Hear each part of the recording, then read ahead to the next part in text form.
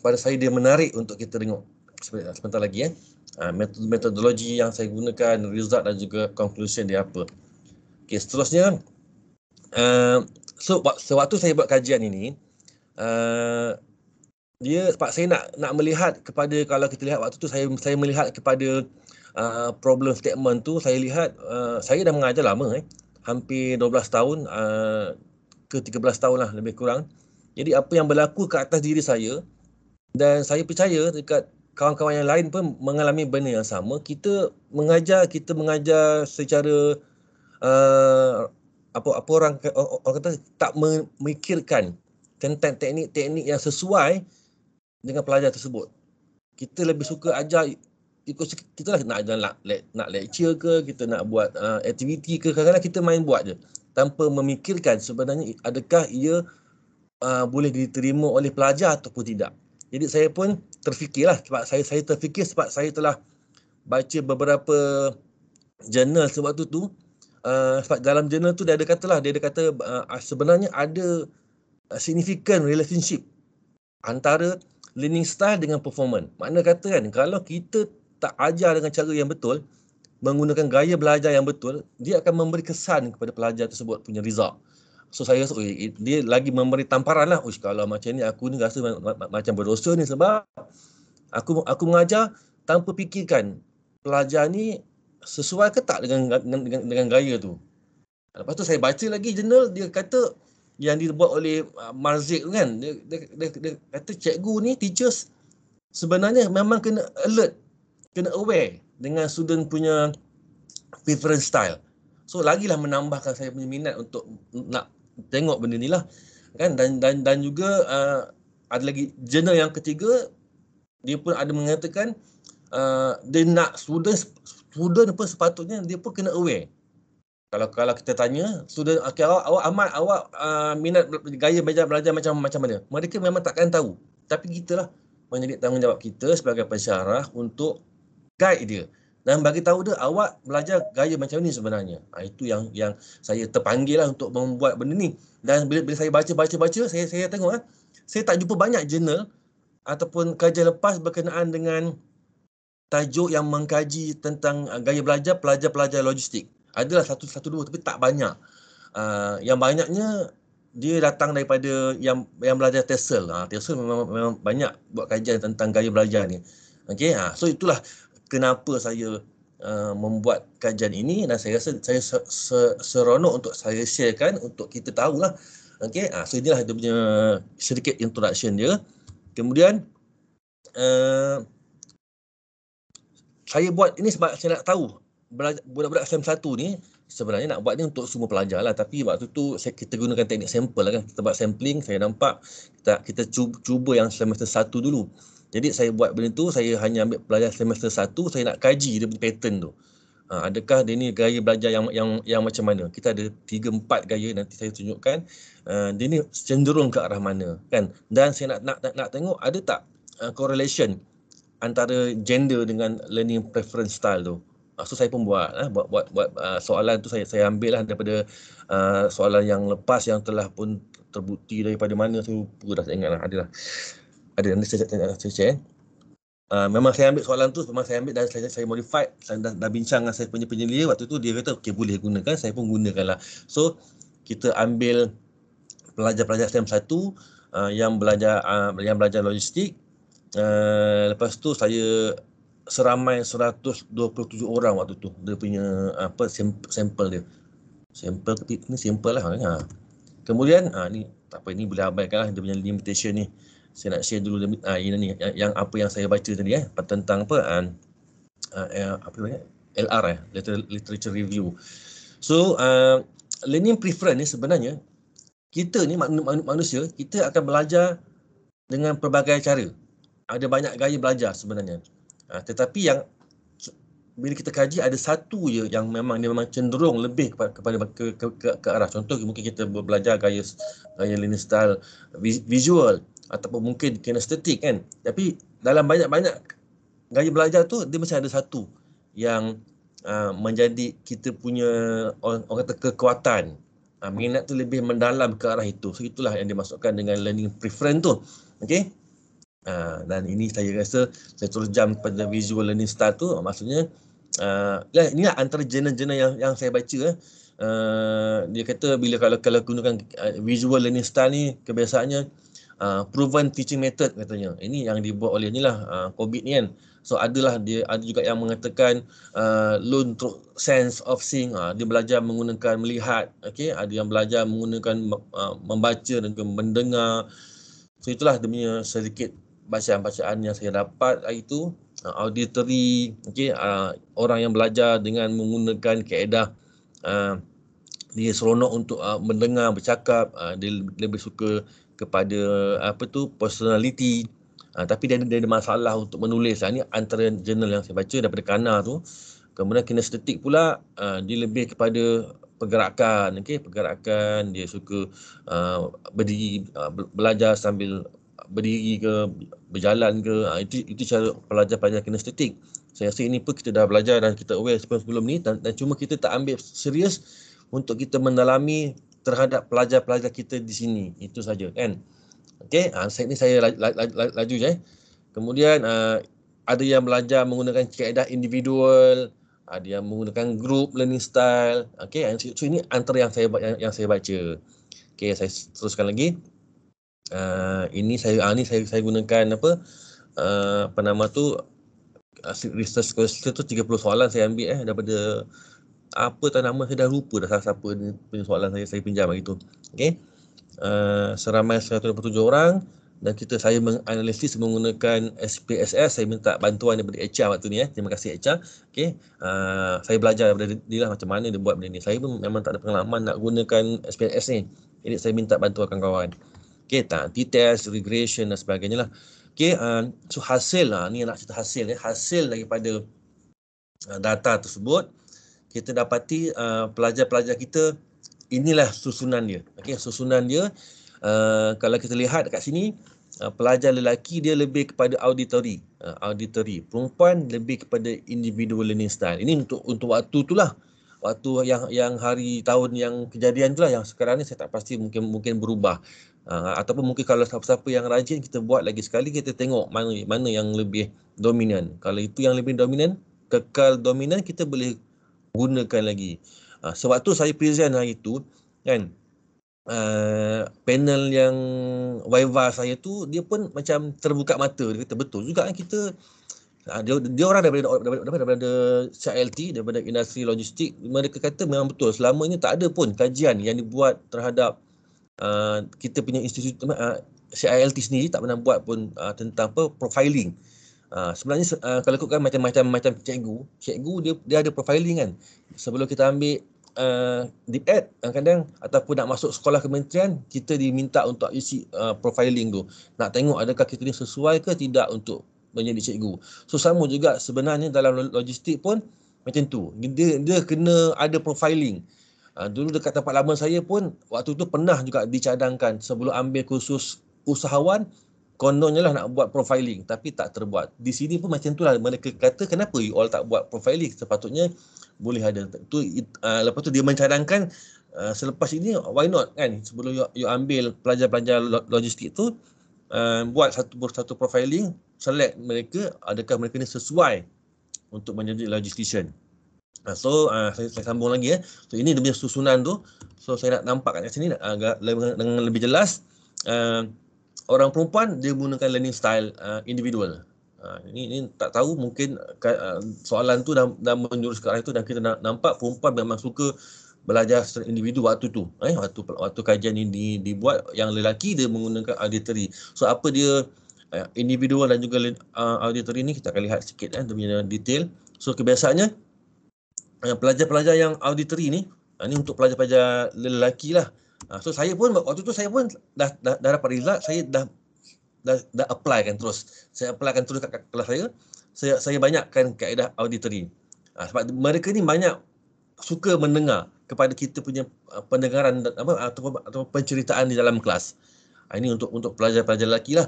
Dan uh, dia suka dengar kawan-kawan dia bercakap. Ha, dia suka dengar radio. So apa yang saya buat waktu tu saya saya bagi topik ah bincang. Kalau yang yang yang lelaki ah suruh orang bincang sama orang dan minta peer uh, terangkan apa yang dia faham. Itu yang yang yang saya buat dululah. Macam kalau macam uh, perempuan tadi dia, dia, dia, dia individual kan. So individual dia bersikap willing to study alone lah. Jadi dalam kelas tu ada tu ada lelaki, ada ada perempuan. Memang ada certain certain topik tu memang, memang saya kalau tengok nampak dia sesuai untuk kita bincangkan menggunakan kaedah auditory saya akan buat macam itulah macam kita akan asing-asingkan ke uh, ataupun uh, waktu tu saya buat macam ni saya buat macam mana yang yang lebih sesuai untuk saya ajar. Sama ada menggunakan auditory ke ataupun nak menggunakan sebab kita nak kita dua-dua tau. Yang perempuan suka individu yang yang yang lelaki suka auditory. Jadi waktu tu memang saya agak buntu juga macam mana aku nak buat dalam kelas aku ni. Sebab apa? Sebab sebab dia uh, perempuan dengan lelaki memang ber- berbeza jauh. Okey, uh, so itulah. Uh, so kalau nak tahu sedikit tentang itu, uh, bolehlah baca visual tu macam mana. Uh, visual tu uh, seseorang yang belajar menggunakan penglihatan mata, uh, dia suka melihat cikgu-cikgu ataupun teacher dia mengajar uh, pegang-pegang muka ke apa ke gaya-gaya badan tu mereka memang suka macam tu. Okey, uh, dengan objek, dengan gambar, Uh, dia suka uh, kalau dia, dia tulis nota dia suka highlight-highlight kan dan sebagainya lah ataupun buat mind mapping kan uh, kinestetik tadi dia buat eksperimen tapi dalam saya punya kelas tu memang tak ramai lah yang yang yang kinestetik kan. Jadi saya tak saya tak uh, tak banyak sangat menggunakan kaedah itu. Okay, gaya, gaya gaya yang macam itu.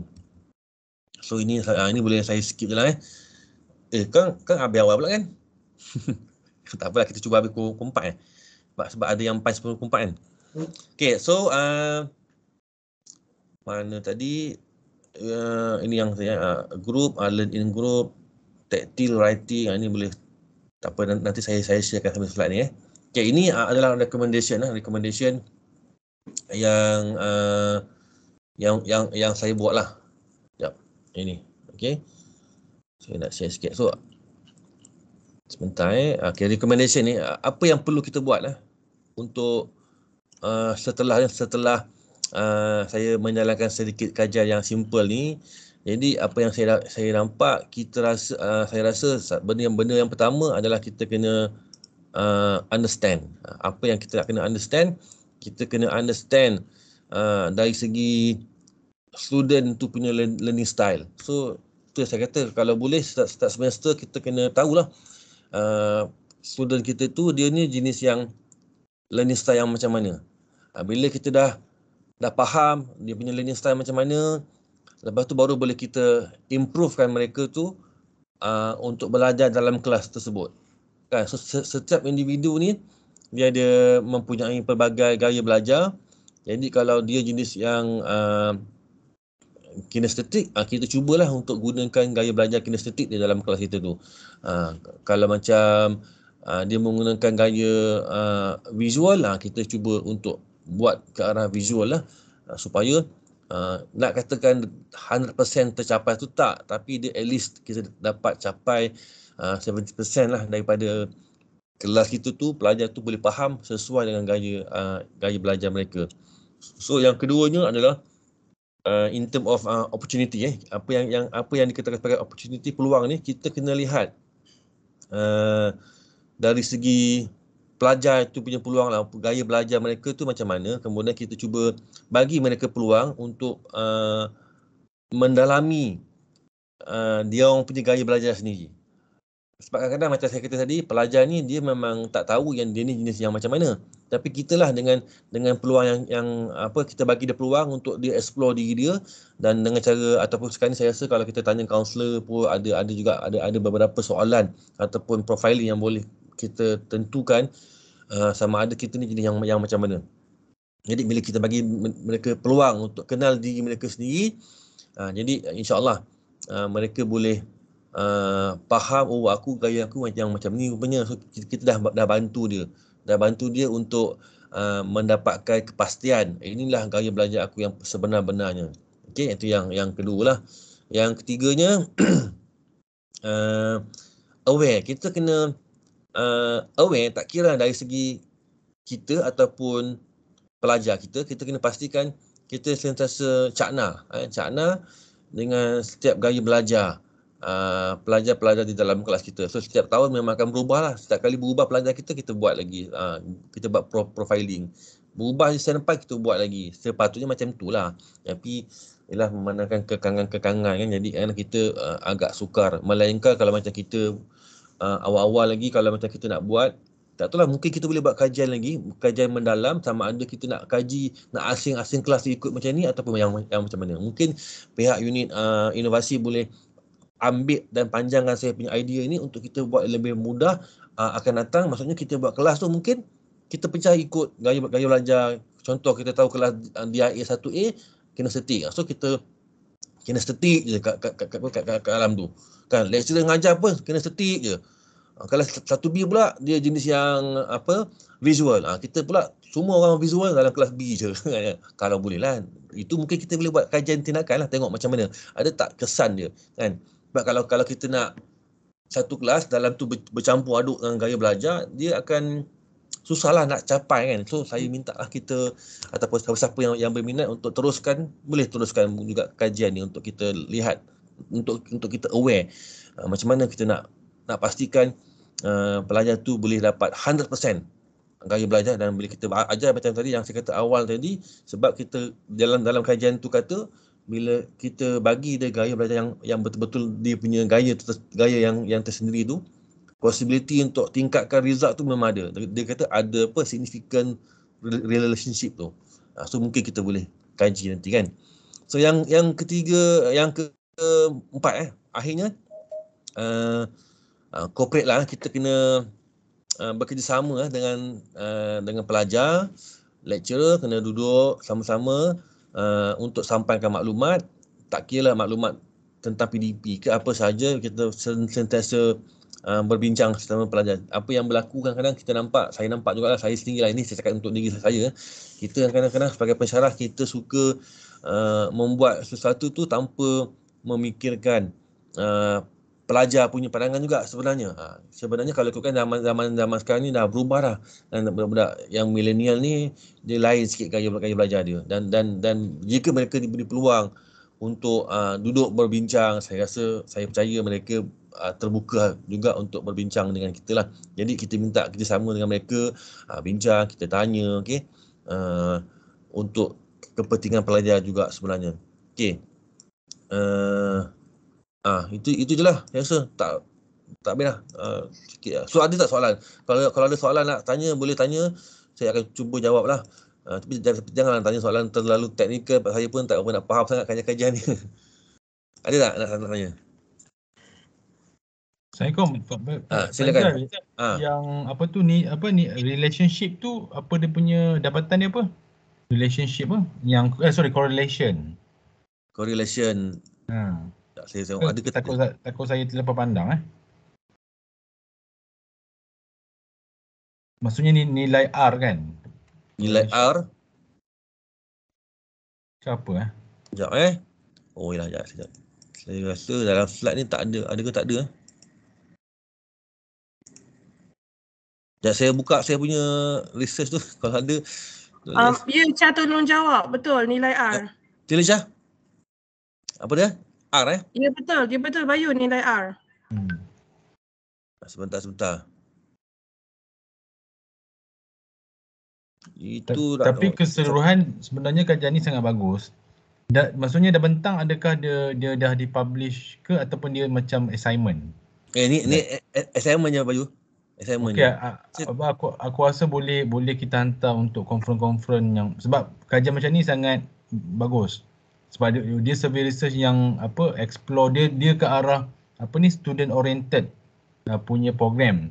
Hmm. dan kita memang ada kekangan sebab kadang-kadang kita apa sebab kita OBE outcome based so kadang-kadang memang payah nak buat. Macam Jai kata nak asing kelas boleh buat kalau kita punya syllabus tu berbentuk apa student oriented. Nah, tapi kita kadang ter ikat dengan OBE tu outcome based sebab kita dari hmm. PLO, CLO kan benda-benda macam tu tapi dia sangat bagus untuk kita macam Jai kata design kita punya teknik ataupun uh, sebab tu saya nampak push. macam uh, kalau boleh sebab macam, macam sekolah sekolah rendah kan kadang-kadang hmm. anak anak kita pun di, diasingkan berdasarkan kepada pencapaian dia kan okay. so why not kita try pula sekolah kita punya pelajar kita kita asingkan ikut gaya belajar hmm. uh, so kalau kita nampak uh, sem tu ter, terbukti gaya belajar tu memang budak tu boleh fokus result naik, ush, ah, saya rasa why not kita teruskan kan. Hmm. Cuma saya, saya tak larat lah nak, nak teruskan benda ni untuk semua kan. Mungkin kita boleh, sesiapa yang berminat boleh terus continue je untuk untuk kita buat. So, saya tak, yang arus saya tak nampak baju kat mana. Ni T-test. Uh, uh, sekejap. Uh, tak ada pula sini, conclusion. Tengok kat finding, finding. R, R biasanya dekat finding, result.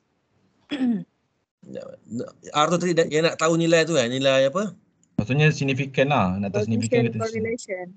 Ha, dia, dia ada correlation lah. Correlation coefficient. Mana? Hmm. Oh, tak ada lah Bayu. Analysis, Tak apa, apa analysis dan finding tak ada. Ini ini gender. Performance gender. Okay. Uh, ini and uh, apa nama? Ini ini bukan eh? Itu deskriptif. Tak ada. Bawah lagi. Tak ada Oh, buat tak ada. correlation Tak kot buat. Bayu. Bukan regression kot Bayu. Dia just uh, apa nama descriptive stat je. Oh, okey okey. Tak apa tak apa. Apa nanti nanti, awak, awak tu saya kata saya ni lah. Nah, okay. Sorry, sorry. Mungkin, mungkin lah. Hmm. Tu tu kata apa, kajian SHLT ni dia memang simple sangat. Jadi dia memang, tapi tu lah dia sebenarnya macam SHLT punya kajian ni dia bukannya nak, nak, nak, nak ke arah akademik sangat. Dia lebih kepada macam nak tengok kita punya idea innovation tu. Macam hmm. uh, kalau uh, hari tu waktu saya pergi PQE tu, mereka bagi sampel uh, research tu daripada TLDM. TLDM punya research kalau kita tengok lagi simple, lagi simple. Dia punya apa literature review tu macam terlalu mudah. Dia boleh ambil daripada surat khabar je. Petik daripada surat, surat, surat khabar majalah ha, macam tu. Saya kata oh, macam ni ke, prof lah memang, memang macam ni. So industri punya kajian yang kata memang, memang simple macam ni. So macam oh, saya kata oh kalau macam ni senang lah. Itu yang tu yang rasa uh, saya rasa saya, saya boleh buat. Kalau tak saya rasa saya memang tak lepas ni. Okey itu je lah. Ha, itu je lah. Um, uh, uh, Ah. uh, um, uh, ada tak uh, sesiapa lagi yang nak tanya soalan? Dia masih lagi dibuka sebelum kita proceed pada next presenter. Ah, saya tak ada soalan kot. Okay. Terima kasih Cik Faizal untuk uh. Tak. Liza. Liza sebelum Ya? uh, se- sebelum kita pergi pergi kepada Din minta semua yang ni tengok dia meeting chat isi attendance lah sebab ramai yang tak isi attendance lagi eh. Ah, okay, isi uh, yang baru masuk tu uh, mungkin sebab masalah line ke apa. Uh, boleh isi link attendance ada dah dipastekan dekat ruangan chat tu untuk dapat uh, khusus hari lah sama macam slot yang sebelum ni. Okay, satu slot satu hari khusus. So um, uh, presenter uh, Encik Muhammad Fakarudin dengan tajuk pembelajaran secara kooperatif menggunakan uh, Padlet. So uh, dijemput Encik Fakarudin. Assalamualaikum. Uh, setakat boleh dengar Kak Liza? Boleh boleh. Boleh eh? Alright. Uh, terima kasih kepada uh, pengurusi majlis. Um, yang dimati uh, yang menjalankan tugas Cik Faizal dan uh, dan sahabat-sahabat semualah, sahabat-sahabat sekalian. Okay, uh, first of all, I'm really sorry saya berada kat luar kawasan dan kadang line agak uh, tak okey. Kadang dia okey sejak keluar, sejak masuk, sejak keluar. Jadi saya harap lepas ni tak keluar and, and boleh terus share dengan tanpa ada segala masalah. Dan juga agak agak agak rio sikit kawasan sini, lori lalu lalang. Actually saya tengah berkhusus dekat Johor Port and saya request untuk kita sama-sama ada dalam majlis kongsian ini lah. Jadi uh, tanpa buang masa saya start untuk share screen.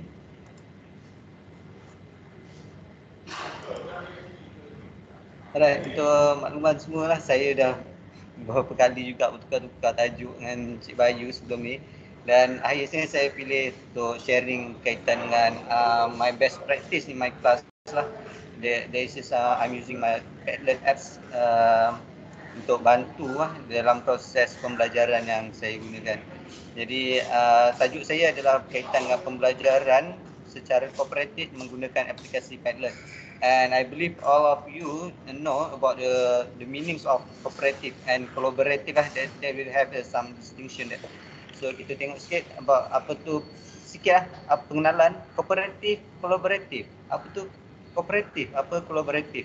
Dia lebih kurang bunyinya tapi dia sebenarnya uh, bawa maksud yang sama. Okay, kalau kita baca sini, cara yang mudah uh, untuk mewujudkan bilik kuliah kolaboratif adalah dengan menjalankan pembelajaran secara kooperatif. Mana kita biasanya kita akan melalui kooperatif dulu and after kita selalu kerap melaksanakan kooperatif dan akhirnya student dah biasa dengan pembelajaran dan akhirnya dia akan berjalan secara kolaboratif secara sendirinya dalam kelas tu. And tapi sekarang saya dalam proses menggunakan uh, uh, kooperatif punya learning tapi ada juga kelas yang saya uh, 100% menggunakan kolaboratif dan kita saya akan tunjukkan lah ke kedua-duanya nanti. Ya, di mana di mana pesyarah dapat mengawal lebih banyak kalau kooperatif ni pesyarah lebih banyak mengawal pun ubah lah. Mana kita bagi instruction, kita guide student tu untuk untuk ikut apa yang uh, kehendak kita tu hingga objektif yang kita nak tu tercapai lah. Kita dia berbeza dengan kolaboratif kita kita lepaskan student dengan tajuk dan student 100% bergerak sendiri nanti kita akan tengok dia punya uh, sikit perbezaan pengenalan ya. Apabila pelajar telah membiasakan diri dengan uh, kooperatif, dia akan menjadi kolaboratif lah. Dia akan berkembang menjadi kolaboratif. Right, so kita tengok sikit uh, perbezaan eh, antara kooperatif dan kolaboratif. Jadi kalau kooperatif ni uh, guru atau pesyarah memantau, mendengar dan mencampur tangan lah, kegiatan bulan uh, jika kita perlu dan uh, kalau kolaboratif aktiviti kebulan tidak dipantau oleh guru mana kita bagi tajuk dan uh, jika timbul persoalan soalan itu dijawab dalam kebulan mereka student sendiri yang uh, menyelesaikan masalah dan membimbing antara mereka lah itu kolaboratif dan yang kedua pelajar dikendaki menghantar kerja akhir pelajaran untuk dinilai ya. Hanya student akan hantar dan uh, saya as a pesyarah akan nilai uh, dan memberi memberi feedback daripada jawapan pelajar tersebut. Dia a kooperatif. Tapi kalau kolaboratif, pelajar tu daripada hasil yang after dia discuss sesama mereka dan mendapatkan penyelesaian tu, dia akan simpan menyimpan draft untuk untuk kerja lanjutan lah, untuk uh, kerja-kerja seterusnya. Untuk rujukan mereka dan uh, hasil yang dia dapat tu memang memang betul lah after discussion tu dibuat. So de- jadi dalam dalam tajuk saya ni adalah berkaitan dengan ko- kooperatif saya menggunakan teknik kooperatif dan dibantu menggunakan dibantu menggunakan aplikasi Padlet dalam menyampaikan uh, PDP saya, instruction dan PDP. Jadi kita tengok sikit the Padlet. Mungkin ramai yang dah tahu lah, saya percaya uh, ramai yang dah tahu tapi dalam kali ni saya just nak share lah uh, macam mana saya meng saya apply lah uh, aplikasi Padlet tu. Jadi kita tengok sikit, Padlet adalah aplikasi yang menggantikan bilik kuliah dalam melaksanakan pelbagai aktiviti PDP seperti melakukan buat bincangan, ya, menjana idea, uh, uh, discussion, ya, discussion dan jana idea tu student beri uh, idea sesama mereka dan jawab soalan di samping dalam pemantauan pesyarah.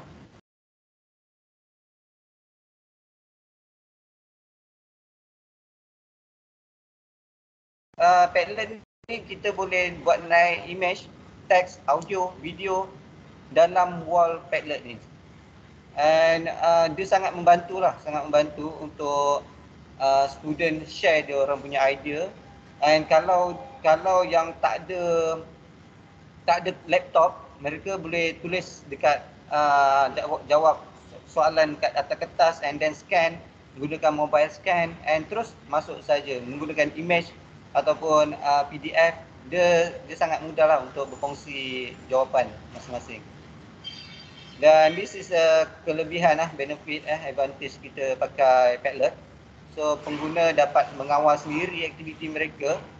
Uh, kita boleh um, naikkan jawapan yang baik ke atas ataupun kita uh, boleh kawal lah, kawal. So, uh, semua student maknanya bukannya uh, pesyarah uh, memuat memuat naik jawapan pelajar tapi setiap pelajar tu dia boleh boleh mas join and then dia boleh uh, dia boleh jawab dekat mana part yang dia dia nak mulakan dulu dia, uh, dan juga uh, itu satu lah dia boleh kawal sendiri aktiviti yang uh, mereka mereka nak jawab yang mana, mereka nak masukkan gambar ke, nak masukkan audio ke, and dia dia boleh bergantung pada pelajar tu. Dan memberi peluang sama rata pada pengguna dalam kumpulan menyumbang idea, dia normal lah. Because of dia satu platform yang uh, boleh boleh berbincang eh. Jadi semua boleh boleh berinteraksi kat dalam situ uh, boleh memberi feedback dan membenarkan pelajar mengulang kaji pelajaran selepas PNP Mana lepas kelas tu pelajar boleh tengok, boleh jadikan rujukan nak final um, nota-nota semua semua boleh boleh dijadikan rujukan selepas tu dan juga dinding digital yang membolehkan pelajar menulis apa sajalah ni yang saya bagi tahu tadi ya boleh masukkan uh, teks uh, gambar video audio dan pelajar lain boleh memberi komen dan uh, pesyarah juga boleh berinteraksi sekali dekat dalam satu wall tu. Uh, so far sekejap eh. Okay, sebab hujan kat sini saya takut dia mengganggu sikit lah uh, sound. Alright, so apa teknik yang saya guna eh? Ni adalah step yang saya pakai untuk kelas saya. Biasanya uh, kesesuaian ni ada pada waktu async class dan um, di mana dalam async class tu instruction semua akan diberi dekat dalam uh, Padlet dan uh, bahan-bahan ya biasanya akan akan disediakan sekali lah dekat uh, melalui Padlet tu. So apa yang saya buat mula saya akan sediakan bahan kuliah ya sama ada daripada video daripada uh, nota-nota atau kajian case saya akan uh, share link ataupun artikel-artikel ataupun soalan terus dekat dalam Padlet saya akan sediakan. Dan kemudian saya akan bagi arahan kepada pelajar yang kedua. Saya akan bagi arahan di dalam Padlet tu.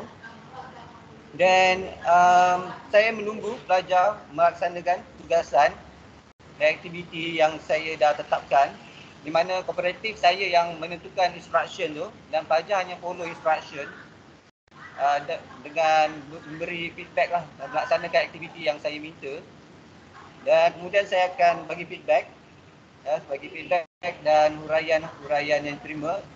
And dah habis uh, waktu asing tu pada next kelasnya uh, starting awal kelas tu saya akan uh, recap lah. Biasa saya akan recap and buat kesimpulan berkaitan dengan chapter yang lepas semasa secara live lah uh, kalau semester sekarang ni saya ada uh, student operation management yang uh, yang setiasa semester empat run secara online.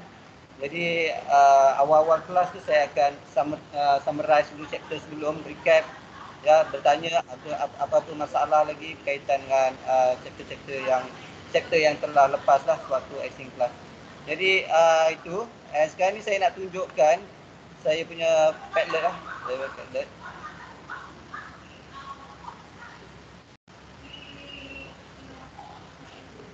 Alright, actually dah banyak eh, sangat sangat banyak lah yang saya dah dah amalkan. Okey, kita tengok ni. Uh, ni uh, untuk operation management eh. Biasanya operation management ni dia berkait dengan uh, calculation tapi bila saya uh, actually untuk Padlet ni dia tak ada masalah. Sama ada calculation ke teori kita boleh apply lah kat dalam sini. Seperti saya cakap, mula saya akan sediakan bahan. Kalau dalam sini saya sediakan soalan, soalan tutorial dalam sini.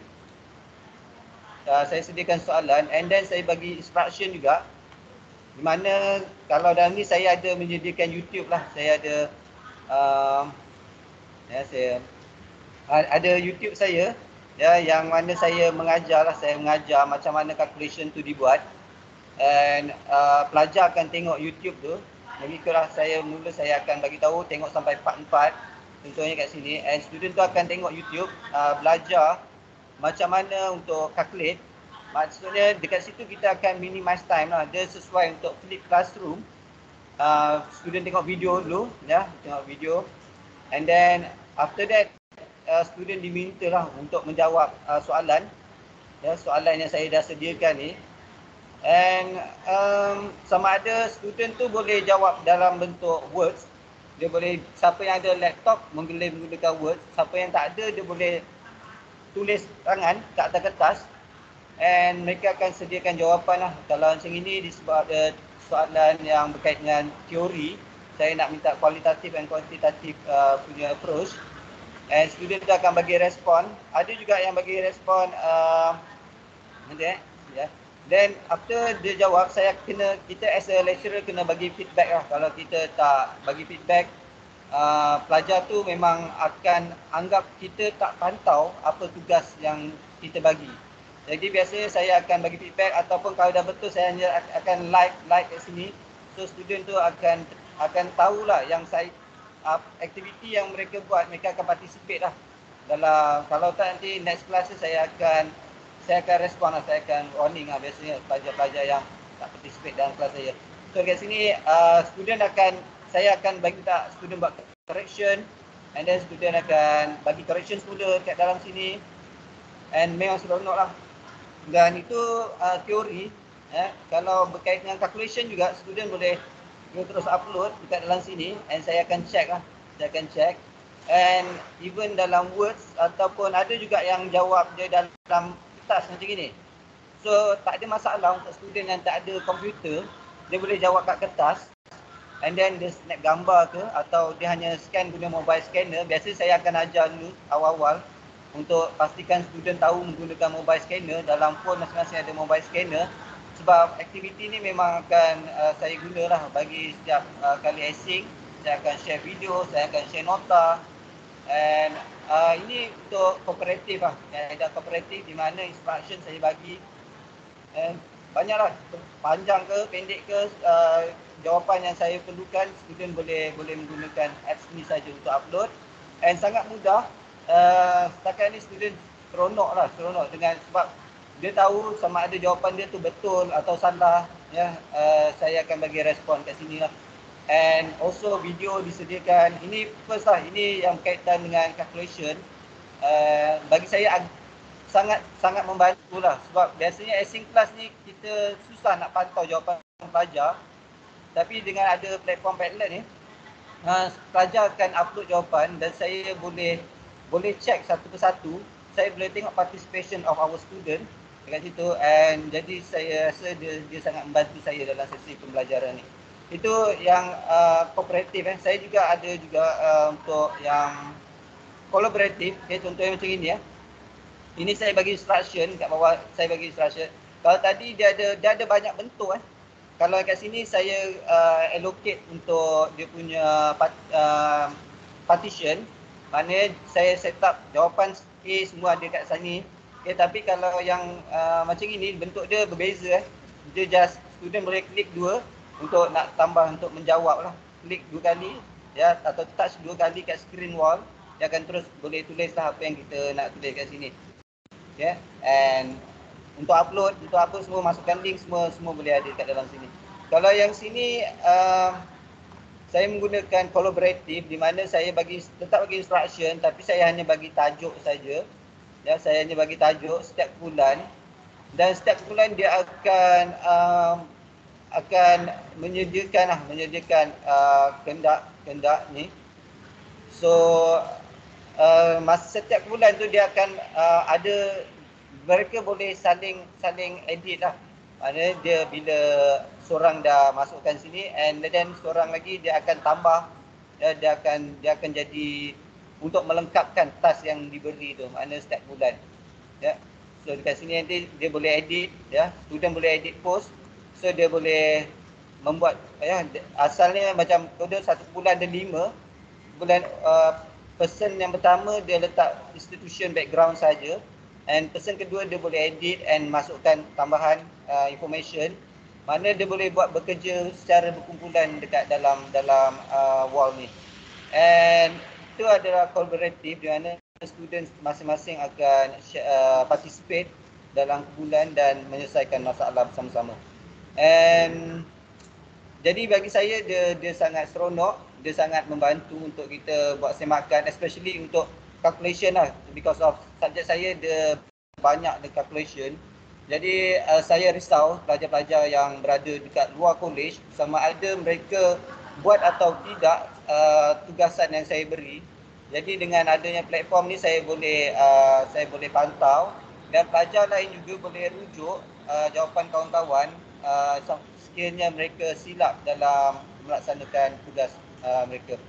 Jadi uh, untuk pengetahuan eh untuk Padlet ni dia dia berbayar uh, dia hanya boleh dia limit pada tiga je lah kalau kita nak buat uh, dia limit pada tiga and tapi tak mahal lah. Bayar dia RM17 saja monthly. And masa RM17 tu boleh terus uh, make banyak-banyak. Bukan kita nak make lah. Kita boleh terus uh, ambil banyak-banyak. Kita macam kita kita nak kita buat satu tapi tak isi konten lah. Kita buat wall letak je wall banyak penuh-penuh.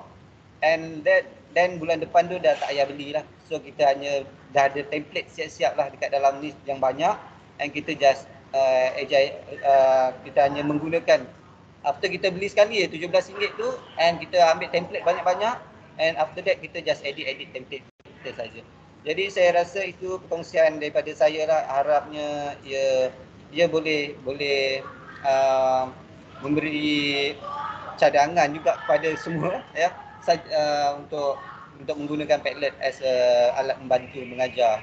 Uh, jadi itu saja saya rasa dan saya serah semula kepada pengurusi kita. Alright. Terima kasih.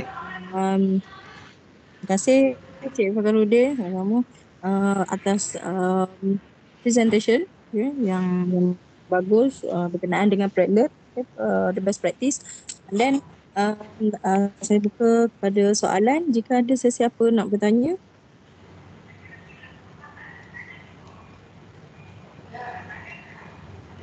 Assalamualaikum Din. Waalaikumsalam ya. Uh, okay, Padlet ni uh, ada tak situasi yang mana you hadapi, you bagi you bagi task dekat budak dekat Padlet tapi budak tak buat? So macam uh, ada tak kes-kes macam tu? Uh, dia ada tapi memang kita saya pantau lah.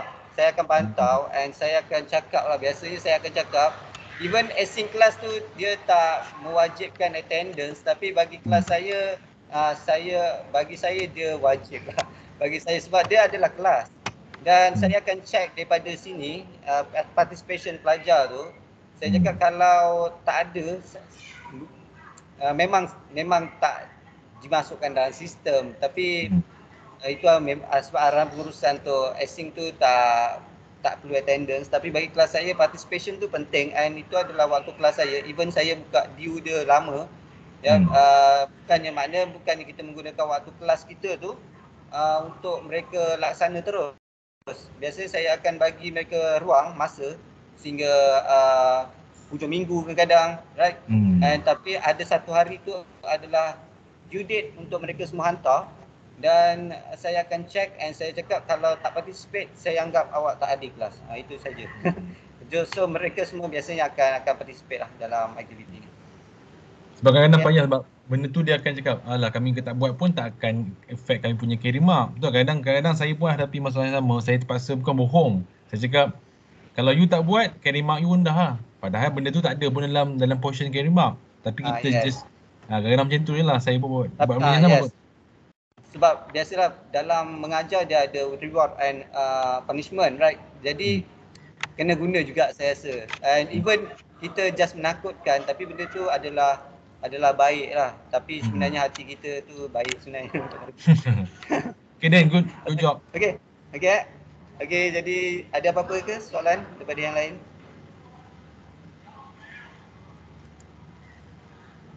ada soalan daripada uh, peserta yang lain?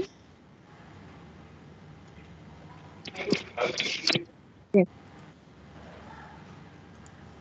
Ya. Rasa tak ada uh, ya, dah. Ya. Eh, Eri. Eri ada. Eh, eh. Okay, uh, sebab ni adalah sesi untuk R&D dari segi untuk penambahbaikan dari segi apa ni mengajar kan.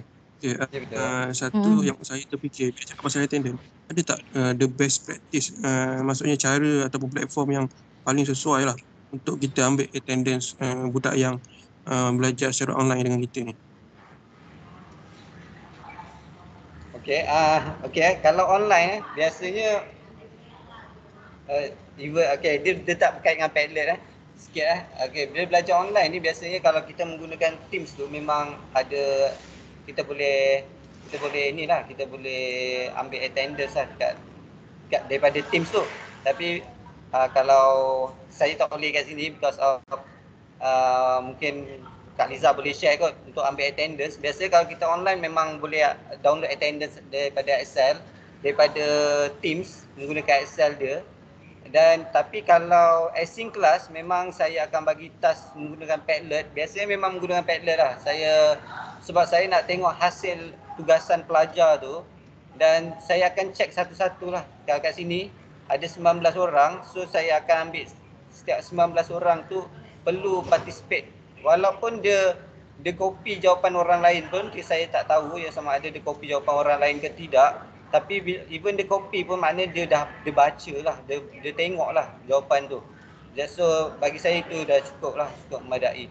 Untuk jadi sebab itulah saya menggunakan platform Padlet ni jadi saya boleh pantau sama ada student saya tu participate ataupun hadir kelas dengan participate ataupun tidak lah. itu untuk async class untuk uh, online class secara synchronize saya memang menggunakan Teams 100% and kita boleh download attendance melalui Teams saja.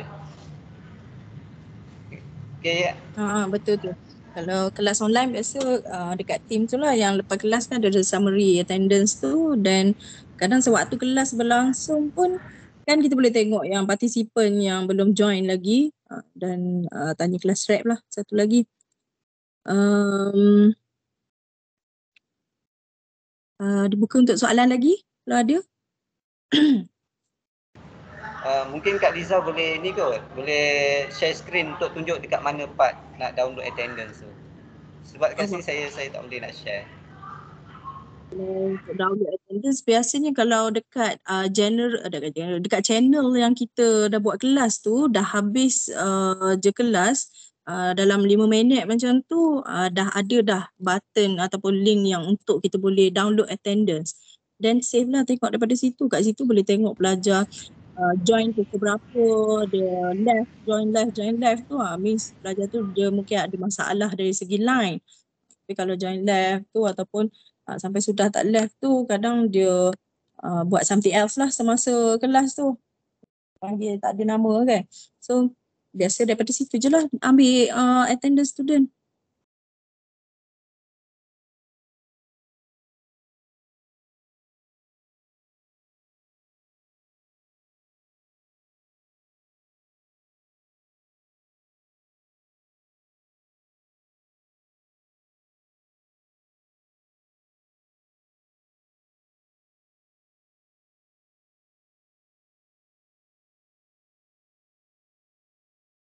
Okey, sorry tak dengar. Uh, tadi saya tunjukkan uh, tunjukkan kalau saya saya akan download lah, saya akan download. Ini contoh daripada Teams lah.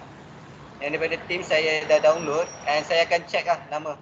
Saya akan check nama uh, pelajar-pelajar kita uh, yang uh, join kelas sama ada join live dia akan nampak lah. And saya akan jadikan dia dalam untuk Excel untuk simpanan saya lah. Kat sini ada 19 orang student. So saya nampak lah 19 orang hadir dalam kelas saya tu. Senang setengah paling lewat pun dia, ada yang lewat ya. Ada yang lewat ataupun mungkin tapi kita kena kita kena pantau lah pelajar-pelajar kita. Okey ya. Tapi biasa dalam Teams memang ada. Kita boleh download terus.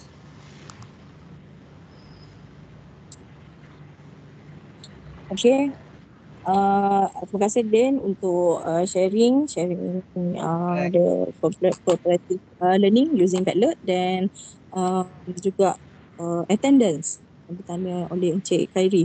Uh, so, um, rasa dah tak ada apa-apa soalan kot. Bayu? Ada, okay, terima kasih. ada tambahan ya. apa-apa Cik Bayu? Uh, ni, uh, terima kasih. Uh, isi attendance ya? Ah, isi attendance. Siapa yang belum Sudah. lagi lah. Ya. Ah, siapa yang belum lagi. Ah, jangan lupa untuk isi attendance dan uh, untuk yang khusus slot yang dua minggu lepas tu, yang the first slot tu dah ada dalam uh, Gokna uh, kalau siapa-siapa tak perasan kan boleh accept untuk dapatkan satu hari khusus dan hari ni uh, nanti minggu depan kot dapat satu lagi claim satu hari khusus. Um, rasa setakat tu je Bayu. Hmm, itu saja. Ha, itu sajalah. Okay, terima kasih uh, Cik Faizal dan Cik Fakarudin untuk uh, pembentangan pada petang ni uh, dapat input dan uh, yang berkenaan dengan pembentangan Cik Faizal learning style preference offer semester mungkin ada yang berminat untuk uh, menyambung sambungan uh, research tu. okay, research yang menarik dan uh, itu saja untuk uh, sesi kali ini. Uh, Assalamualaikum. Waalaikumsalam warahmatullahi wabarakatuh.